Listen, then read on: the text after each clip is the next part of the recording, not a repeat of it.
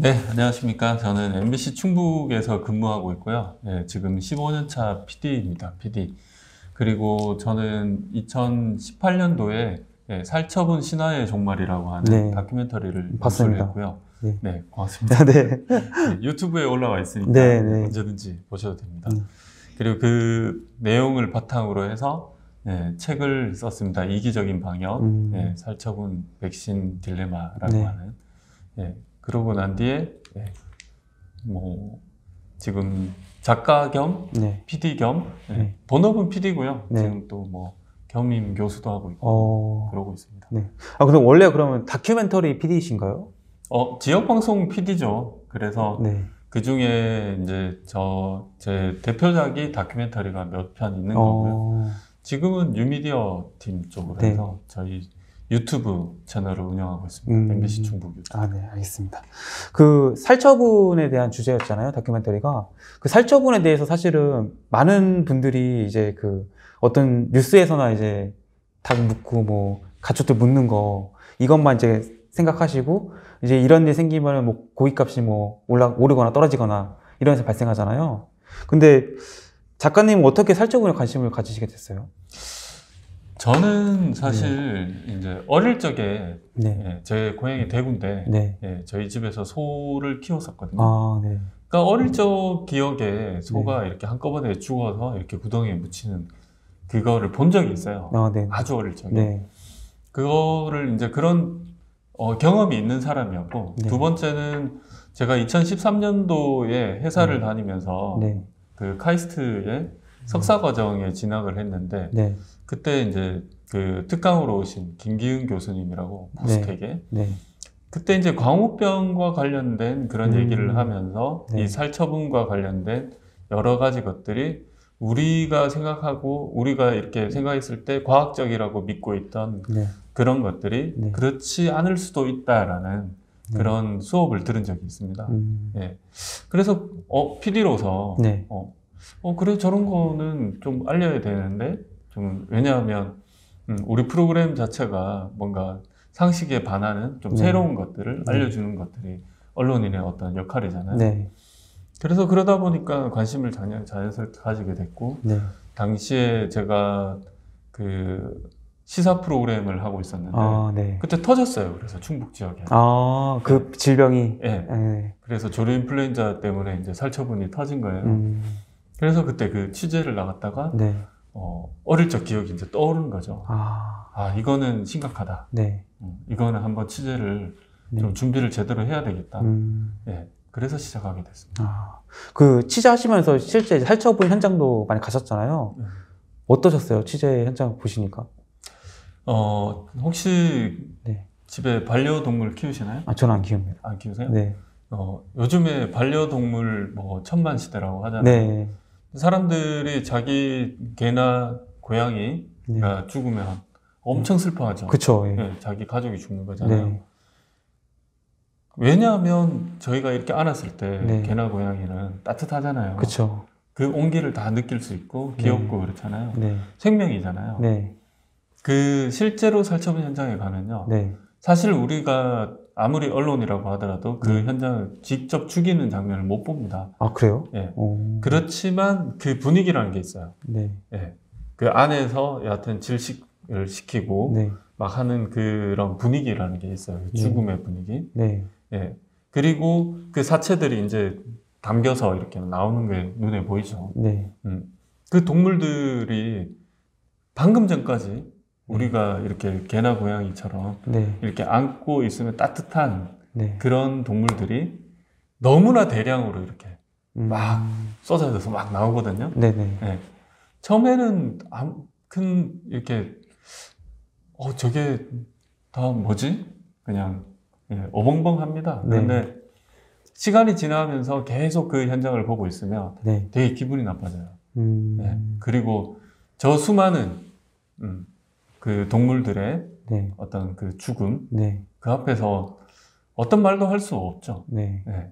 그 영혼들이 얼마나 많겠어요. 예. 예. 음, 생명에 영혼이 깃들어 있다라고 그렇게 네. 생각을 한다면 네.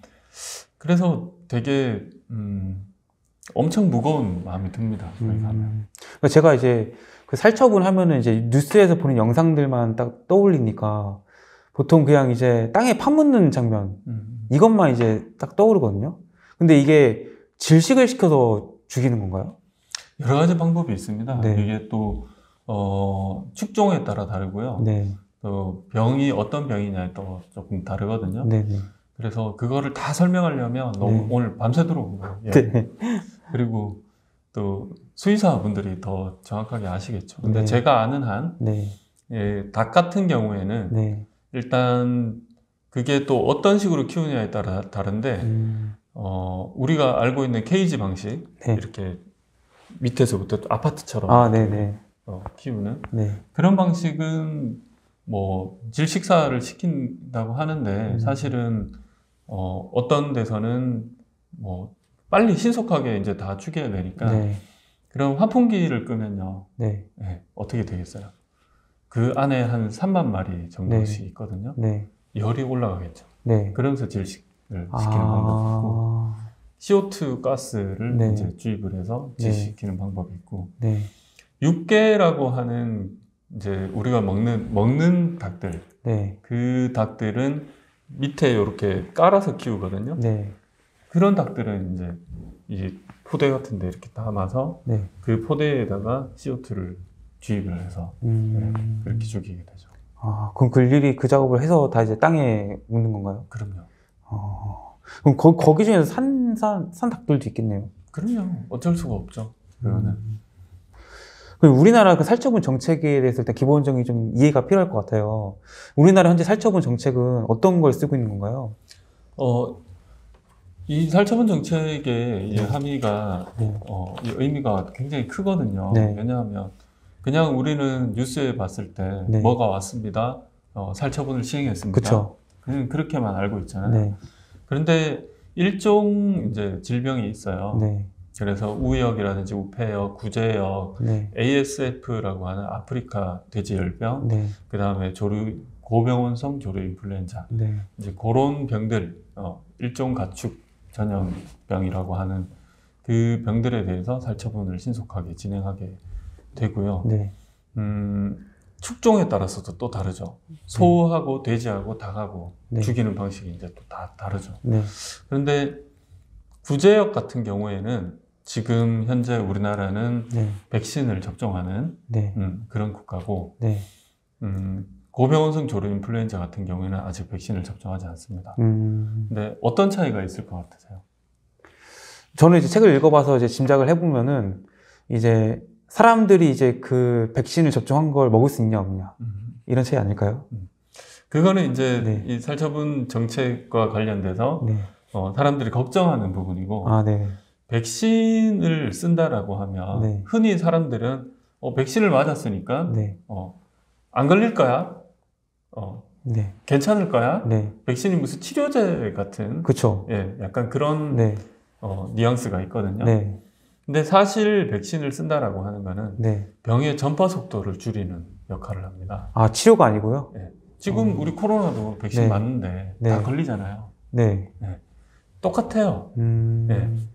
물론 백신으로 백신을 맞으면 네. 어, 치료하기보다 병의 전파 속도를 낮추고 네. 또 우역 같은 경우에는 백신을 통해서 네. 극복이 된 질병이에요. 네. 더 이상 이제는 그거는 주사를 맞으면 네. 천연두하고 우역하고 제가 알기로는 우리 인류사에서 네. 어, 극복된 질병이 주사로 극복된 음. 질병은 그 두 개밖에 없습니다. 음. 그래서 그렇게 치료가 되는 네. 그런 백신은 네. 우역밖에 없어요. 음. 그런데 구제역은 네. 음, 이 백신을 맞추면 어떤 네. 항체를 갖고 있는 거죠. 지금 코로나 백신하고 네, 그쵸, 똑같이. 그쵸. 예. 그래서 걸린 지금 어디에서 항체를 검출했는데 네. 이 농장에서 구제역 이렇게 예, 콧물을 흘리고 그렇게 네. 해서 항체를 보니까 걸렸어요. 네. 그러면 그 농장은 바로 살처분합니다. 안 하는 게 아니에요. 왜요, 왜? 이거는 네. 구제역과 같은 이런 질병들은 왜 일종이냐면 네. 엄청 빨리 퍼지거든요. 네. 그러면 한국 축산업을 보호해야 되잖아요. 네. 그러면은 이게 그 동물들은 갇혀 있다고 하더라도 네. 우리가 생각하는 것 이상으로 사료 차량이라든지 뭐 네. 여러 차량 그리고 이게 또 뭐 야생 동물들 쥐나 뭐 막 그런 통해서 어떤 식으로 전파될지 모르기 네. 때문에 길목을 차단하는 음. 그런 식으로 그러니까 바이러스가 만일 뭐 경기도 포천에서 뭐 터졌어요. 네. 그다음 옆에 어디로 갔어요. 네. 그러면 중간에서 포천 뭐 경기도 어디쯤에서 네. 길목을 막아야 되, 잖아요 네. 그러면은 빨리 죽여서 길목을 없애는 거거든요. 음. 근데 이게 백신을 맞히게 되면 네. 전파 속도가 느려지게 되죠. 음. 안에 항체가 있기 때문에. 네. 그러면은 예전에는 무조건 다 죽였어야 되는데 네. 뭐 안에 반경 100m 안에 500m 안에 1km 안에 3km 안에 아, 네. 이렇게 해서 다 죽였어야 되는데 네. 지금은 포위 접종 방식을 써서 네. 백신으로 낮춰놓고 네. 최소한만 살처분하는 음. 그런 방식으로 음. 그렇게 바뀌었죠. 어. 음. 그 언제 바뀐 거예요? 2010년에 터져서 네. 2011년도에 네. 2010년도에 굉장히 심했었거든요. 네. 우리가 그 살처분이. 네. 그래서 그때 너무 많이 죽이니까 네. 도저히 이제 그 정부에서 감당하지 못할 정도로 네. 너무 많이 죽이게 되니까 구제역에 대해서 음. 그래서 아 우리도 백신을 접종하는 국가로 바꾸자 네. 그렇게 해서 이제 2011년부터 네. 접종하기 시작했습니다. 음. 그러니까 백신이라는 게 그 살처분의 범위를 줄여준 역할만 하는 거네요. 그렇죠? 예. 이게. 예. 어. 그 살처분이 우리나라에서만 하는 것도 아니고 우리나라에 시작된 것도 아니잖아요. 그럼요. 이 살처분 어, 어디서부터 시작이 된 거예요? 아주 먼 옛날로 가야 됩니다. 네. 제가 이 책을 쓰고 다큐멘터리를 기획하게 된 것도 네. 사실 이 부분이었는데 네. 어, 살처분은 18세기에 나왔죠. 음. 1700 제가 정확하게 네. 기억은 안 나는데 네. 로마의 교황의 주치였던 네. 어, 란치시라고 하는 의사가 있었거든요. 네. 그 당시에 로마 이제 교황이라고 하면 네. 정말 어, 엄청난 권력이잖아요. 그쵸. 예. 그분의 어, 주치면 네. 어, 아마 뭐 그 당시에 최고의 의사였던 네. 네. 그런 사람이었겠죠. 네. 음, 16세기부터 유럽에 네. 우역이라고 하는 아까 네. 얘기했던 그 병이 퍼지기 시작합니다. 네. 근데 그 병은 좀 위험해요. 음. 왜냐하면 사람한테 위험하다기보다 네. 치사율이 엄청 높았어요. 음. 우역인데 소한테 걸리는 네. 어떤 어, 그 rinderpest 혹은 cattle cattle plague라고 그렇게 얘기를 하는데 네. 음, 이게 걸리면 치사율이 80%가 넘고 네. 90몇 프로가 넘고 이랬거든요. 네. 그리고 엄청 전염 속도가 빨랐어요. 음. 근데 생각해 보면 지금은 우리가 소를 키우는 게 네. 우유나 고기를 먹기 위해서 키우지만 네. 그 당시에는 소가 힘을 못 쓰면 농사가 안 되는 그쵸. 그런 시대였죠. 네. 그런데 소가 다 죽어요. 네. 엄청 빠르게 죽어요. 네. 그러면 나라가 어떻게 되겠어요? 노동력을 상실하죠. 당장 가을이 되면 기근이 네. 들겠죠. 네. 그러면은 국왕이든 교황청이든 어디든 그 권력을 유지할 수가 없고 그쵸. 예, 그쵸. 그, 그 사태가 계속 가게 됩니다. 네. 지금 코로나도 우리가 여하튼 이 자연재해인데 네. 어, 이거를 제대로 통제한다 못한다를 가지고 네. 정부를 네, 하고 사람들이 그쵸. 그렇게 하잖아요. 똑같잖아요. 네. 그러니까 그때 음. 교황이 어, 란치 씨한테 야 이거 어떡하냐 네. 어? 이거 이탈리아를 확 쓸어버리면 우리 나라가 이제 완전히 망하고 이 유럽에 어, 네. 큰 질병이 돌았는데 네. 근데 당시에는 현미경도 없고 네. 지금처럼 뭔가 백신을 제조해낼 수 있는 그런 과학적인 기반이 아무것도 없었죠. 네. 다만 추측하건대 네. 접촉에 의해서 일어난다. 이게 음. 어, 병이 전파된다 네. 정도는 알고 있었어요. 음. 그러니까 란치 씨가 고안을 네. 했죠. 길목을 차단하면 어떻게 될까? 미리 선제적으로 오, 네. 병이 안 걸렸는데 네. 얘가 만일 뭐 우리가 어, 어디라고 해야 될까요? 원주, 충주, 문경이 이렇게 붙어 있거든요. 네, 네. 자 원주에서 걸렸는데 네. 어, 야 문경까지 그 함락이 되고 밑으로 계속하면 다 퍼지니까 그쵸. 예.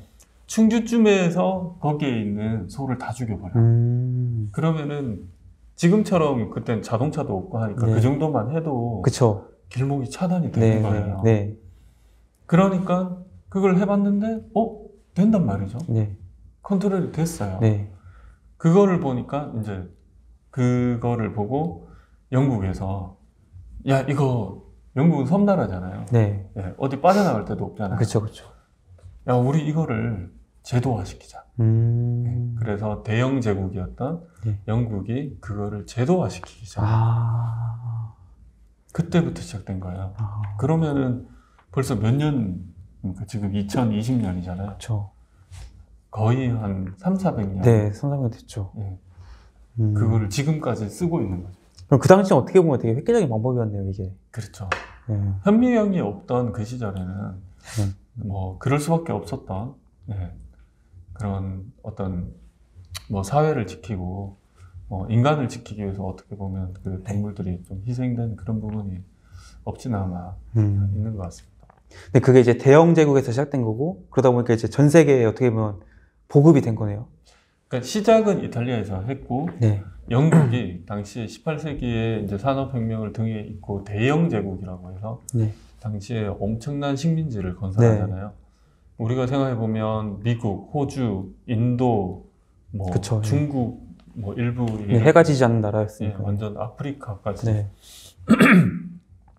근데 영국이 이게 제도화 시킨다는 의미는 뭐냐면 국가가 적극적으로 방역에 나서겠다는 뜻입니다. 음, 그러면 지금 우리나라의 방역 형태도 비슷하죠. 네, 국가가 보상해주는 형태. 네, 그렇게 제도화를 시키는 거예요. 음, 재밌잖아요. 국가가 보상을 해준다? 그러면은 강력하게 네. 이제 국가에서 이 방역 정책을 휘두르는 거거든요. 그쵸, 예, 농장주한테 네, 너희 빨리 신고해. 네, 그럼 우리가 보상 다 해줄게. 네, 근데 빨리 신고 안 해? 그럼 너희한테 우리 벌을 내릴 거야. 음, 라는 네. 그런 거를 하게 되죠. 음, 그래서 그거를 제도화를 딱 시켜놓고 네. 그 다음에 하는 게 뭐냐면 식민지를 지배하는데 굉장히 네. 효율적으로 쓰입니다. 아, 생각해 보면 우리나라도 구제역 때 네, 일본에서 네, 예전에 식민지 시대 때 네, 어, 구제역이 찾아온 그런 조선 시대의 그런 어, 기록들이 꽤 있어요. 음, 근데 어, 일본이 우역이랑 네. 구제역을 통제하기 위해서 네. 부산 쪽에다가 어, 그런 기관을 하나 이렇게 설립을 합니다. 아, 제일 먼저 살처분부터 보여주죠. 오, 끔찍하잖아요. 네, 음. 그래서 뭐 순진한 그 사람들이 왔을 때는 저 왜 이렇게 죽여? 막 어, 음. 저렇게 아, 잔인한 사람들 뭔가 좀 네, 두려움, 공포의 대상이 되기도 하고 네, 그러면서 한편으로 어? 병이 통제가 됐어요. 음, 옛날에는 우역, 구제역이 돈다 뭐 이렇게 되면 사람들이 굶어 죽을 걱정을 네. 했는데 어? 저 사람들 되게 음, 똑똑하네, 뭔가 선진적이다 라는 네. 그런 경외감을 가질 수 음, 그 당시에, 네, 그쵸.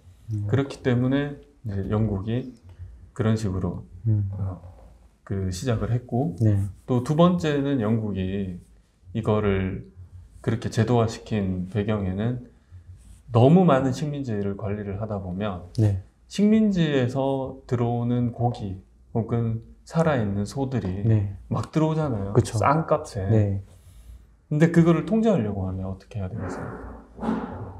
제도화를 시켜야 되겠죠. 네, 얘는 등급을 이렇게 매기는 거예요. 음, 얘는 살처분을 해야 되는 애, 네, 우리가 키우던 원래 되게 좋은 종들, 네, 그런 얘들은 살처분 안 해야 되는 존재, 네, 이런 식으로 등급을 딱딱딱 매기고, 음, 음.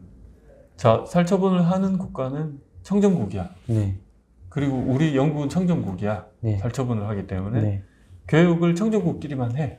음, 그런 식으로 만들어 버리는 거예요. 아, 그럼 이제 살처분을 한 국가끼리만 서로 이제 고기 고- 교육을 하는 거고, 음.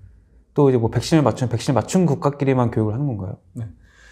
이게 저는 제가 이 책을 쓰고 다큐멘터리 만들 때 하고 네, 어, 지금 하고 네. 많이 달라진 게 뭐냐면 네, 옛날에는 아무리 설명해도 되게 힘들었거든요. 네, 지금은 이렇게 설명하면 네, 다들 이해하기 쉬워요. 음, 우리가 백신 패스 국가들이 있죠. 네, 아, 네, 예. 네, 우리가 요즘에 사이트 한 놀러 갈 수 있잖아요. 네, 그쵸. 뭐 얼마 얼마 후에 좀 있으면 뭐 일본도 풀린다, 네. 뭐 유럽도 이제 풀린다 그러잖아요.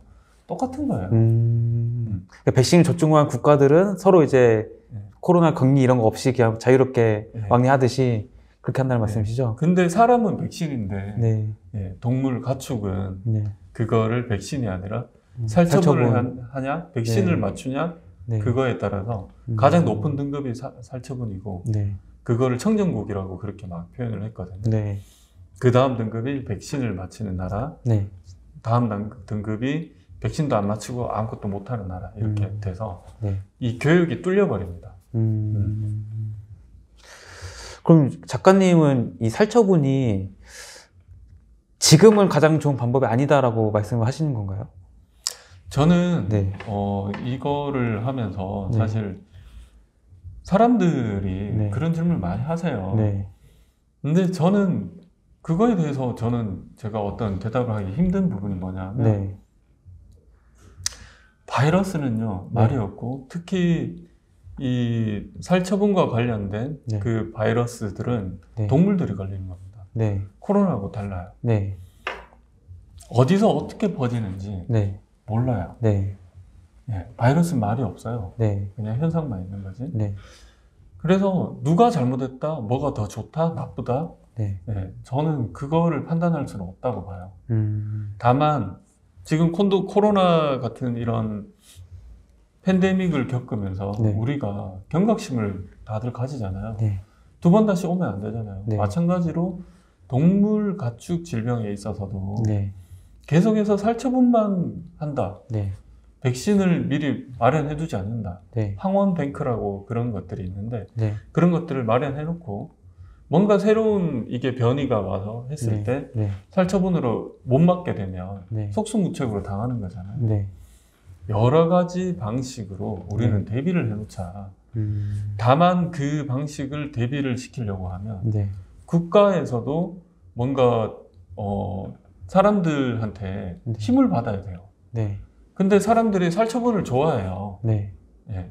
백신 맞은 고기 막 먹기 싫어하고 네. 뭔가 항생제하고 좀 헷갈리면서 아, 저거 먹으면 내 몸에 그렇죠. 좋을 옮길 것것 같고. 예. 음, 그 바이러스가 네. 내가 이렇게 들어가는 것 같고 막 네. 그럼 사람들이 안 좋아하잖아요. 네. 그럼 국가는 어쩔 수 없이 네. 예, 백신을 백신 정책을 쓰지 못합니다. 음. 음.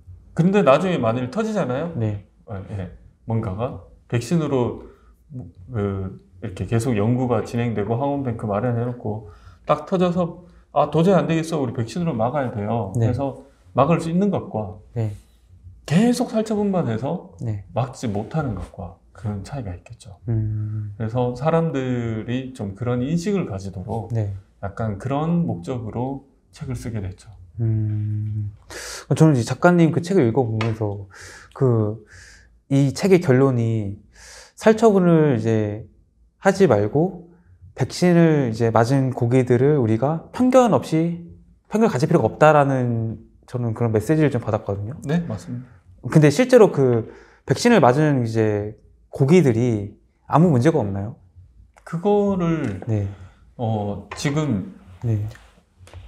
그 고기를 드신 지 몇 년 됐죠? 삼, 뭐 30년 됐겠죠. 죄송. 네. 네, 네. 30년. 네. 예, 어, 나이를 밝게 네. 죄송합니다. 아, 괜찮습니다. 네. 지금까지 문제가 있었나요? 없었죠. 네. 네. 지금 먹는 고기들은 네. 백신을 안 맞았을까요? 그렇게 생각하는 거 아닐까요? 일단은. 네. 근데 백신을 다 맞습니다. 음. 다른 병에 대해서 백신을 맞아요. 아. 이슈화가 안 된 것 뿐이에요. 아. 그런데 이런 대규모 질병에 막 네. 살처분 같은 거에 해서 네. 뭔가 이슈화가 되고 뉴스에 계속 나오고 이렇게 네. 되면 사람들이 알기 시작해요. 음. 네, 비가시성이라고 하는 그런 부분이 있는데 네, 이건 네. 어려우니까 그냥 네. 뭐 빼고 네. 보면 도시에 사는 사람들은 네. 우리가 가축들이 어떻게 길러지는지를 네. 모릅니다. 그쵸. 모르죠. 예, 단지 치킨에서 튀겨져 나온 어떤 음식 네.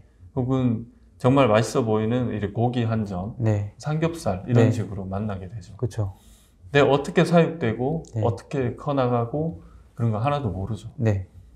모르기 때문에 그냥 사실은 예, 백신 맞은 다른 병에 대해서 백신을 맞거나 예방 접종 다 맞거든요. 네. 근데 먹고 있잖아요. 네. 그래서 모를 때는 아 맛있어 너무 좋아 막 음. 어, 제 청정 뭐야 뭐 하면서 음. 이렇게 다 먹다가 네. 갑자기 이게 이슈화가 돼서 네. 구제역 백신을 뭐 맞춰야 될지 말아야 될지 뭐, 뭐 아. 그렇습니다 하면 갑자기 사람들이 싹 돌았어요. 어 저거 먹으면 뭔가 어 저거 되는 거 아니야? 네. 우리 잘못되는 거 아니야? 네. 의심의 눈초리를 쳐다보기 시작해요. 음. 그러면서 똑같은 질문을 하는 거죠. 음. 저거 먹으면 잘못되는 거 아니에요? 음. 안전한가요? 음. 사실은 모르고 있으면서 네. 다른 백신 먹은 고기는 다 음. 먹고 있으면서 음. 그래서 저는 이 질문에 대한 대답은 이렇게밖에 못 드립니다. 음. 그리고 구제역 백신을 지금 마친 지가 10년이 넘었잖아요. 네. 문제가 일어나려고 했다면 네.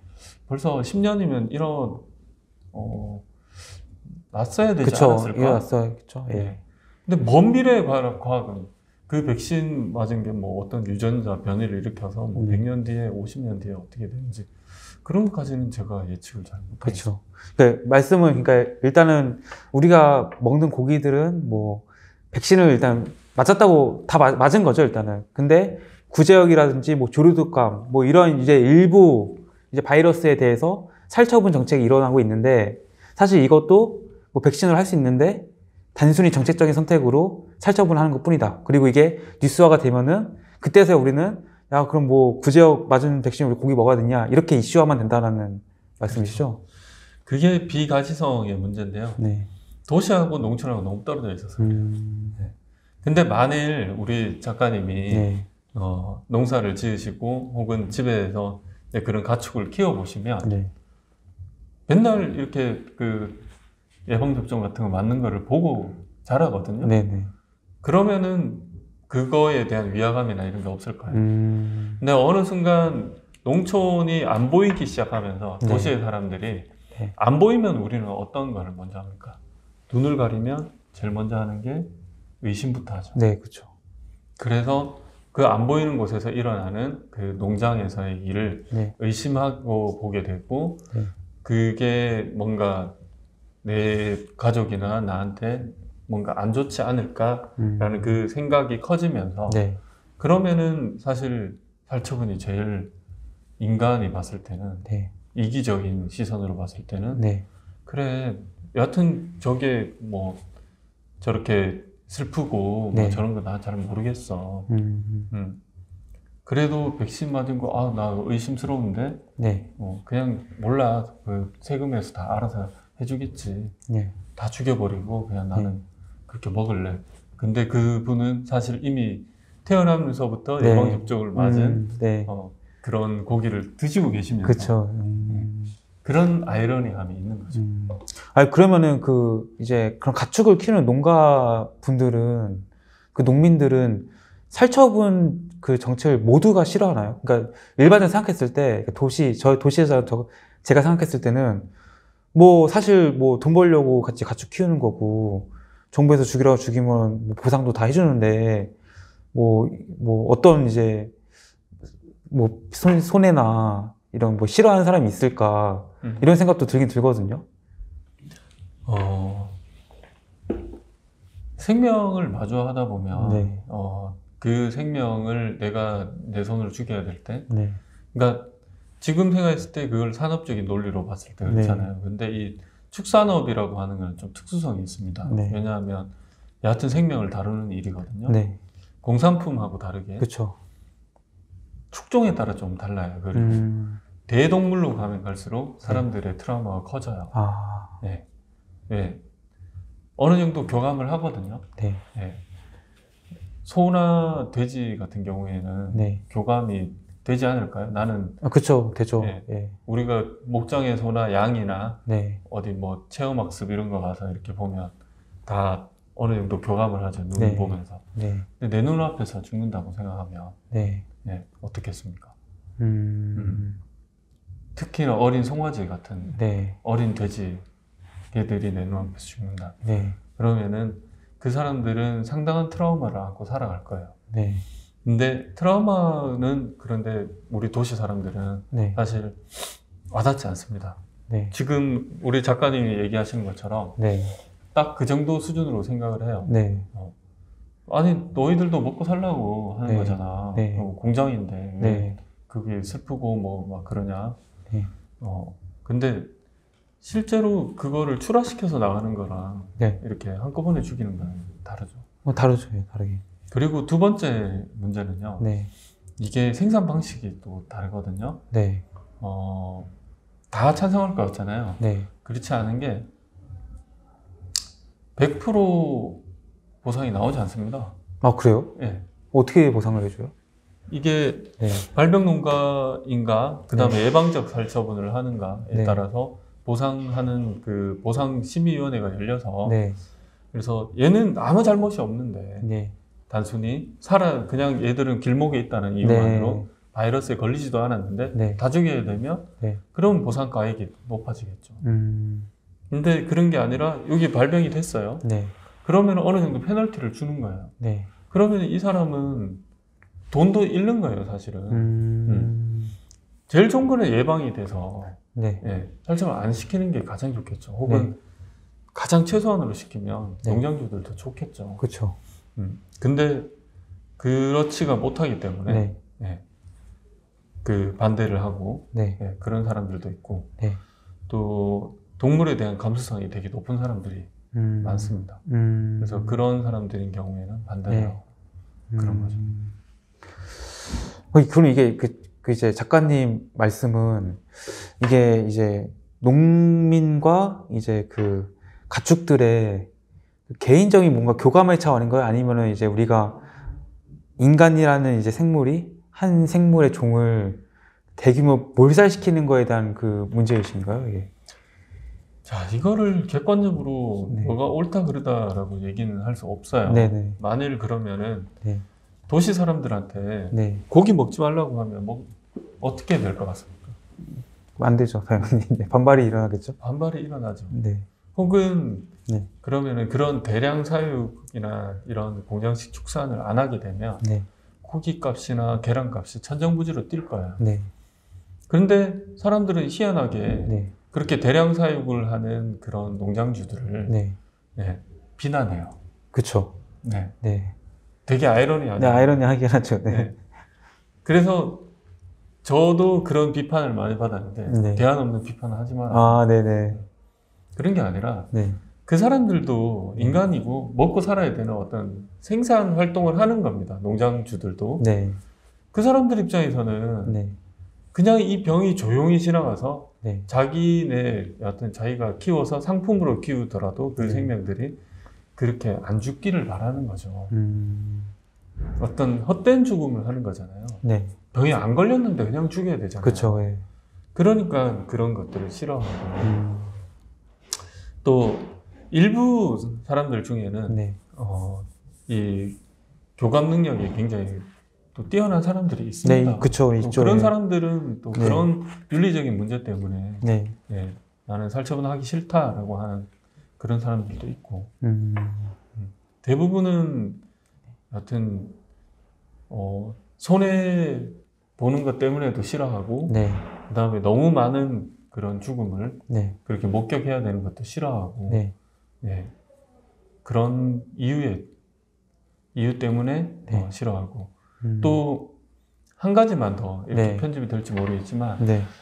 한 가지만 더 말씀드리면 네. 농촌 사회 공동체 사회가 붕괴돼요. 오, 왜요? 살처분이 시작되게 되면 살처분은 결국은 네. 그러니까 방역의 가장 기본적인 개념은 접촉이잖아요. 네. 우리도 지금 이렇게 접촉하고 뭐 그것 때문에 다 이렇게 근데 그러면 결국 도- 병이 돌았다 네. 뭔가 바이러스 검출됐다 어제 네. 살처분하기 시작했다 그러면 농촌 음, 옛날에 네. 뭐 우리가 생각하는 전원일기에 나오는 만나서 다 같이 밥 먹고 네. 그런 농촌이 더 이상 아니게 되는 거죠 음. 다 문을 걸어 잠그고 네. 서로 얼굴 안 보고 네. 그렇게 되면 한쪽이 살처분하기 시작하면 그 옆 동네 아니면 그 동네 사람들이 왕래가 딱 끊어져 버리고 네. 또그 자기 잘못도 아닌데 그 바이러스가 들어온 그 농장 같은 경우에는 네. 그 농장주는 눈총을 받겠어요 안 받겠어요 엄청난 눈총을 봤죠. 받겠죠 예. 네. 음. 자기 잘못이 아니라고 하지만 우리도 코로나 코로나 그쵸, 예, 그쵸. 음, 제가 아, 씨, 아, 쟤 네. 어, 나가지 말라 했는데 그니까요. 사실은 저 자기도 나가서 다 그니까, 그니까요. 밥 먹고 네, 네. 어, 우리도 이렇게 마스크 네, 안 쓰고 지금 네. 이렇게 얘기하고 있으면서 네. 근데 옛날에 막 이렇게 보면 어, 쟤 때문에 막 걸렸어. 아, 뭐, 나가지 맞아요. 말라 했는데 네. 밖에서 이 시국에 뭐 술을 먹어? 네. 똑같은 거예요. 음. 서로 의심하고 네. 서로 진짜 그러면서 음. 농촌 공동체가 붕괴돼 버리죠. 음. 그 책에서 보니까 이제 이게 종에 따라서 살처분의 불평등이 있다. 이 불평등은 어떤 불평등인가요? 그거는 이제 책에서 소개한 내용들은 네. 제가 영국에 출장 가서 취재했던 내용들인데 네. 어 이게 살처분이라는 것 자체가 네. 엄청 과학적이라면 아니 네. 어 모든 같은 축종의 어떤 그런 어, 소 소도 종이 다 다르거든요. 네, 그쵸. 다 똑같이 죽 이렇게 죽여서 살처분을 해야죠. 네. 그런데 그 제도화를 시킨 영국조차도 네. 이걸 제도화 시키면서 자기네들이 좋아하는 혈통종은 네. 옛날에 귀족들이 키우던 네. 음, 혈통종은 보호하고 야 얘들은 살처분 하지 마. 음. 네, 구제역으로 죽지는 않거든요. 네. 소 같은 경우에. 네. 근데 뭐 이제 다른 축종들 양이나 이런 데는 또 구제역이 또 되게 심하고 네. 음.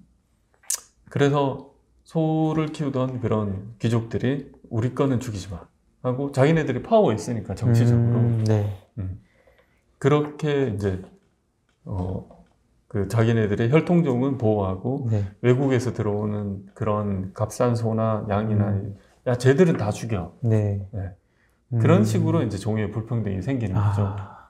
그러니까 이거는 그러면 그냥 살처분 정책 자체가 모순이라는 걸 말씀하신 거예요. 그렇죠. 너무 음. 완전히 우리가 맹신 어, 하는 어, 음. 그런 건 아니다. 음. 그리고 어, 지금은 네. 모든 이제 동일 축종을 다 죽입니다. 사실은 네. 영국에서도. 오. 예. 하지만 그 원료를 이렇게 올라가 보면 우리가 살처분하면 다 될 거야라고 했던 그런 것조차도 네. 원료를 따져 보면 네. 음, 엄청 과학적인 건 아니다라는 음. 게 이렇게 드러나는 거죠. 음. 모순이 있다는 거죠. 음. 그 네덜란드 조선 농장이 굉장히 그 모범 사례로 좀 언급이 된 것 같아요 책에서 그거 어땠어요 네덜란드 조선 농장은? 사실 네, 영국이든 네, 네덜란드든 네. 어, 우리나라도 축산 선진국이라고 이제는 볼 수 있거든요. 아 그래요, 네, 네. 음. 다잘 하고 있어요. 네, 근데 네덜란드에서 인상적이었던 거는 네, 이제 우리가 섭외를 그런 데를 해서 갔죠. 네, 자동화 농장. 네, 네. 인간의 개입이 최소화되는. 음. 그 사람이 가장 이동이 자유롭기 때문에 지금 이 사회에서는 네, 그럼 어디 가서 내가 옆 농장주를 만났어요. 아니면 네. 뭐 사료차 사람하고 되게 얘기했는데 네, 그 바이러스가 내 호흡기 혹은 내 옷에 묻어서 소한테 가서 네. 어, 쫙 퍼질 수 있잖아요. 네, 그쵸. 근데 네덜란드 그 농장은 모든 거를 다 로봇이 이제 다 합니다. 젖도 소 우유도 이제 그 로봇이 아, 하고 그럼 저또 그냥 알아서 들어가요? 그럼. 젖소가 이게 이 젖이 네. 탱탱해지면 아프거든요. 네. 그러면 걔들이 어릴 적부터 다른 소들이 하는 걸 보고 아. 자기가 아프면 거기 들어가요. 와. 그러면은 이제 네, 찡 하고 이렇게 로봇 팔 같은 게 이렇게 나와서 네, 이렇게 쫙 스캔을 해갖고 그 이제 그 우유가 나오는 네. 거기를 이렇게 폭폭폭폭 이렇게 들어가요. 오. 괜히 우유를 다 짜고 야, 진짜 전자동이구나. 예, 목에 뭐 네. 센서 같은 게 달려 있는데 네. 어, 그럼 얘들이 하루에 몇 걸음 걸었는지 심박동은 어떤지 오. 그 다음에 또 우리처럼 우리 한우나 이런 소들은 우리는 대부분 가둬서 키우잖아요. 네네. 근데 거기는 어, 방목지가 있습니다. 음. 밖에 엄청 넓어요. 음. 그러니까 소가 자유롭게 이 건초를 뜯고 싶으면 안에서 건초를 먹고 네. 또 자기가 밖에 나가고 싶으면 나가서 네. 자유롭게 놀다가 어, 들어와서 음. 자기 젖짤 때 되면 들어가서 또 우유를 생산하고 네. 그리고 그게 모니터로 다 모니터링 돼서 네. 이렇게 하니까 관리가 되는 거죠. 음. 근데 그런 식으로 관리가 되기 시작하면 네. 인간의 개입이 최소화되고 하나하나가 관리가 되면 되게 빨리 스크린을 할 수 있거든요. 네. 방역에 엄청 그 중요한 게, 어, 초동 파악입니다. 네. 그러니까 어 얘가 만일에 우리나라가 네. 어, 코로나 바이러스 이렇게 하는데 네. 만일에 네. 어, 어, 딘가에 터졌는데 스크리닝을 다 해요. 네.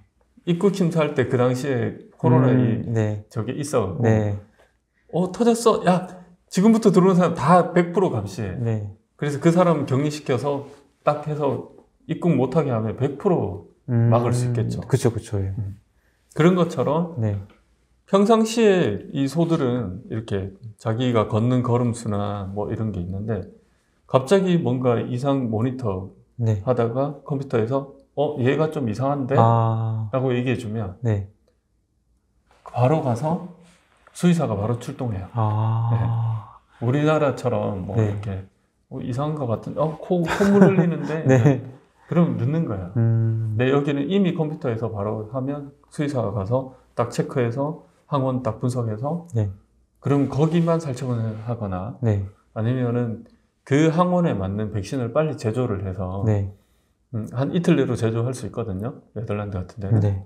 네. 그럼 빨리 맞추는 거예요. 음, 그러면은 그, 그 A형이라고 하는데 그 타입에 맞는 백신을 딱 해갖고 네.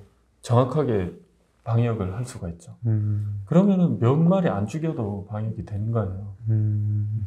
그러니까 이제 뭐 체온의 변화, 변화나 뭐 그렇죠. 걸음걸이가 좀 줄어들었다 이러면 이제 한번 의심을 해봐서 바로 검사해서 이제 그 소만 살처분하거나 뭐 조금 번졌다 하면 그 농장까지만 뭐 하고서 안 한다는 말씀이시죠? 그렇죠. 음, 그리고 책에서는 네, 어, 제가 영국을 먼저 갔다가 그 다음 네덜란드를 가거든요. 네, 그래서 그거를 잘 이해하셔야 되는 게 네, 네덜란드가 갖고 있는 네, 어, 바이러스에 대한 생각과 네, 어, 영국하고 우리나라가 갖고 있는 바이러스에 대한 생각이 달라요. 네. 그래서 그런 인식이 다르다는 것도 되게 인상적이었어요. 아, 음. 근데 그거는 뭐 작가님이 직접 뭐 아시게 된 거예요? 아니면 어떤 교수님이 그 설명을 하신 건가요?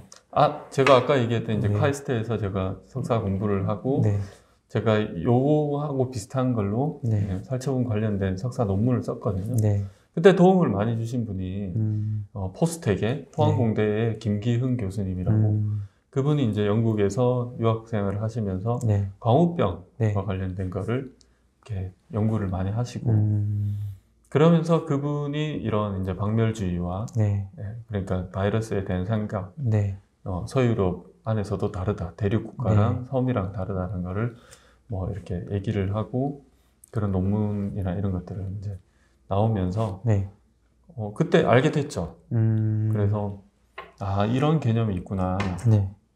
그러면은 뭐 이제 섬나라들이 이제 좀 박멸에 대한 인식이 강해서 무조건 살처분을 좀 과하게 하는 경향이 있다라는 거잖아요. 그렇죠. 그럼 이게 일본도 그런가요? 그렇죠. 일본도 이런 식으로 대규모로 방역을 살처분하는 거예요? 그럼요. 오, 그 네, 간단하게 설명을 드리자면 네, 섬은요 네, 어, 고립되어 있는 나라입니다. 그쵸. 예. 우리나라도 사실은 분단 국가라서 네, 그쵸. 섬나라 마인드가 네. 있어요. 그래서 외부에서 뭔가 바이러스가 들어왔다 그러면 우리가 도망칠 데가 없잖아요. 그쵸. 예. 엄청 거기에 대해서 경계를 해요. 음, 그래서 영국도 섬나라고 일본도 섬나라고 우리나라도 섬나라고 네, 공통적으로 살처분을 많이 합니다. 음, 그런데 백신은 구제역 같은 경우에는 1차 대전, 2차 대전 뭐 그런 거 하면서 1900년도 초에 이미 네. 백신이 나옵니다. 음, 예. 그 이제 파스테르 이후에 네, 현미경이 발견되고 바이러스 세균 어 세균이 먼저 발견돼서 네. 이제 그 이후로 계속해서 이 생명공학이라든지 이런 것들이 발달하면서 네, 백신은 나와 있죠. 그런데 영국은 계속해서 그런 국제 조약을 그런 표준을 네. 계속해서 주장을 하면서 그 어떤 국제 무역의 문제로 만들어 버렸어요. 그거를. 네, 네, 그러니까 그걸 안 받아들이면 최대 교육국인 영국이랑 교육을 할 수가 없잖아요. 네. 그러니까 사람 그 국가가 받아들일 수밖에 없었어요. 그 살처분이라는 음, 거를. 음, 그리고 2010년도 초만 하더라도 네, 어, 우리나라에서도 우리가 선진국인데 네. 백신 맞히는 데는 후진국이야라는 그런 인식이 강했습니다. 음, 그래서 우리도 하다가 하다가 안 되니까 백신을 맞히게 됐죠. 음. 지금 잘 컨트롤이 되고 있어요. 음, 근데 그 백신과 살처분 논란이 이미 1970년대 뭐 그때부터 네. 계속 서유럽의 대륙 국가들하고 네. 영국하고 네. 계속 싸움을 붙어요. 음. 대륙 국가는 이거를 바이러스를 영국처럼 통제를 할 수가 없습니다. 음. 불가능하죠. 왜? 네. 우리로 치면 우리 땅덩어리로 치면 충청북도와 뭐 경상 경상북도와 강원도와 네. 경기도가 이렇게 다 붙어 있잖아요. 네. 그걸 나라로 생각해 보면 경기도가 뭐 프랑스고 어, 네. 강원도가 독일이고 네. 네. 그런 상황이거든요. 네. 국경이라는 게 명확하게 그렇죠. 네. 어떻게 할 수가 없어요. 네. 그럼 병이 이렇게 나라로 이렇게 퍼져서 네. 뭐 살처분 한 나라만 이렇게 잘한다고 그게 음. 병이 길목이 차단되는 게 아니거든요. 네. 그러니까 여기는 약간 음. 어, 섬나라는 박멸주의 무조건 들어오면 얘를 딱 해서 씨를 말리는 네. 어, 이 바이러스 씨를 말려야 돼 이런 거고 약간 대륙 국가는 공존주의랑 비슷하게 과학적으로 좀 막자 이거는 음. 너무 살처분을 못 막는다 이거는 네. 그러니까 백신 같은 거에서 서로 공조해서 이거를 좀 늦추고 네. 예, 발병 그런 것들을 늦추고 네. 과학적인 방법이 있으면 그거를 쓰자라는 음. 그런 주의였죠. 그러니까 이제 섬나라는 예를 들어서 이제 병균의 유입 이런 게 아무래도 대륙보다는 적기 때문에 그렇죠. 한번 들어오면 이제 어떻게 보면 이제 살처분이라는 다소 비용이 큰 하지만 이제 어떻게 보면 병균 반멸이라는 확실한 방법을 선택하는 거고 대륙에서는 이게 뭐 수시로 들어오기도 하고 너무 많이 들어오기도 하고 살처분에서는 뭐 전멸을 시켜야 될 판이니까 이제 어떻게 보면 자연스럽게 그게 그 관리 쪽으로 가는 간다고 이해하면 될까요? 그렇죠. 섬나라는 교육하는 그 국가들만 잘 관리를 하면 네. 사실은 통제가 되잖아요. 그렇죠. 수질 통제만 딱 하면 되니까. 예. 네. 근데 대륙 국가는 그게 안 되잖아요. 음, 이게 음. 어디에서 막 야생 멧돼지를 통해서 막 네. 뭐 들어오는지 그런 걸 네. 모르니까. 네. 음, 알겠습니다. 그 양계 농장에 대해서 좀 여쭤보고 싶은데 그 요즘에 우리나라 그 닭 하면은 이제 황교익 씨가 그 많이 얘기하잖아요. 뭐 우리나라는 그 이제 뭐 2개월, 3개월밖에 안 길러서 바로 이제 먹는다. 맛도 없다. 뭐 그래서 이런 얘기 많잖아요. 근데 그것도 사실은 이제 뭐 오래 살면 뭐 질병 노출 위험이 점점 늘어나고 이러니까 이제 저는 그렇게 알고 있거든요. 우리나라 양계 그 현실 어떤가요? 어, 제가 다 가보지는 않았지만 네. 이제 그 전주 MBC에 네. 어, 그런 팝콘 치킨의 진실이라고 하는 그런 다큐멘터리가 있었어요. 네네. 그래서 그거를 보고 저도 이제 조금 차용을 하긴 했는데 네. 음, 육개라고 하는 네. 고기로 먹는 네. 예, 그 닭하고 네. 그다음에 산란계라고 네. 하는 알을 낳아서 네. 어, 그 닭에 달라요. 음. 그러니까 육개는 네. 지금 황교익 황교익 씨라고 해야 되나? 네. 하여튼 그분이 말씀하신 것처럼 네. 짧습니다. 음. 특히 삼계탕 닭은 더 짧아요. 네. 한달 채 남짓 못 살고. 어. 예. 우리 삼계탕 먹을 때 보면 요 그렇죠. 뚝배기 다 들어가잖아요. 뚝배기 안에 다 네. 들어가잖아요. 네. 그러면은 정말 아기 닭을 음. 그 병아리에서 조금 커나가려고 하는 그 정도 되면 네. 다 삼계탕 닭으로 빠져서 한 5주 정도 되면 다 죽죠. 음. 그리고 어, 우리가 치킨을 맛있게 먹는 네. 어, 그런 것들은 연계가 맛있다고 하잖아요. 네. 크면 클수록 냄새가 이제 나기 음. 시작하니까 되게 작은 닭을 예, 잡아서 네. 예, 그렇게 죽이게 되죠. 네. 큰 닭을 안 드셔보셨죠? 네. 예. 어, 외국 나가서 한 번씩 네. 닭 요리인데 닭 막 다리가 이만해요. 예. 칠면조만한 거 말씀하시는 거예요? 네. 근데 되게 질겨요. 네. 우리가 음, 큰 닭을 먹는 게 거의 유일하게 어디서 먹냐 하면 토종닭 먹을 때. 아, 뭐 계곡 이런 데서 먹는 예, 거요? 예. 아. 근데 토종닭 대부분 다 질기다고 그렇게 네, 얘기하잖아요. 그쵸, 예, 그쵸. 예, 그게 거의 성체까지 자란 닭을 시골에서 음. 잡아갖고 음. 그렇게 먹으니까. 네. 예. 근데 그 호불호 갈리잖아요. 네, 그쵸. 예. 토종닭. 그러면, 이- 그러면 일단은 어렸을 때더 맛있다라고 생각을 하시나요? 그 닭들이 유통되고 있고 네. 어, 지금 어, 저는 토종닭보다 네. 예, 그냥 일반 치킨집에서 네. 예, 먹는 닭이 더 네, 맛있으니까. 저도 그렇습니다. 네. 네, 음. 그, 그렇지 않을까요? 그거를 음. 뭐 어떻게 예, 그 산란계는 그럼 어떻게 이제 길러지나요, 보통? 산란계는 보통 네. 1년 반에서 2년 정도 예, 그렇게 키우는 걸로 알고 있고 음, 어, 공장식 축산이라고 막 그렇게 얘기를 하지만 네. 그렇게 키울 수밖에 없습니다. 왜요? 예. 어, 생각해 보면 네. 그 공장식으로 생겼거든요, 진짜. 네. 공장처럼 겉으로 네. 봤을 때. 네. 그 안에 들어가면 8단 정도 이렇게 케이지가 있어요. 네.